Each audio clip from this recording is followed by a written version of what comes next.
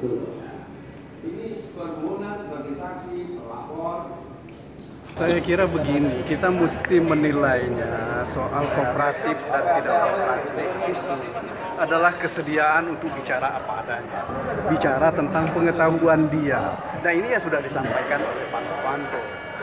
Kami diskusikan ini cukup panjang. Ya. Salah satu di antara ya, pertanyaan pokok yang kita sampaikan, yang kita diskusikan adalah apakah dia akan mengakui sesuatu yang tidak dia lakukan? Kan nggak mungkin.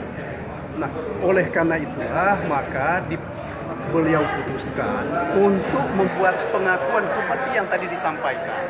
Yaitu antara lain bahwa dia mendengar dari Oka ada sejumlah orang yang terima uang, dia dengar dari Andi ada sejumlah orang yang terima uang dan tadi malam itu dikonfirmasi oleh Irfan.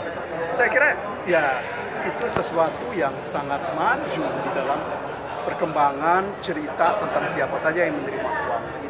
Saya kira itu yang mesti dilihat sebagai itikat baik. Tapi kalau persoalan ada nama Puan Maharani, Pramono Anung, uh, ada nama-nama lain juga yang disebutkan, apakah Pak Novanto punya bukti kuat? Ini kan adalah nama yang disebut oleh Pak Novanto di muka sidang dengan mendengar keterangan dari Ora, Andi maupun Irfan kan?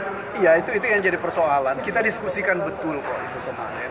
Ya akhirnya dia putuskan untuk menyebut itu karena bagaimanapun juga kan yang diminta oleh penyidik pun kepada Pak Novanto itu untuk bicara apa adanya. Yep. Termasuk di antaranya bicara siapa saja yang dia pahami, yang dia dengar, yang dia ketahui telah menerima uang itu. Makanya itulah yang disampaikan.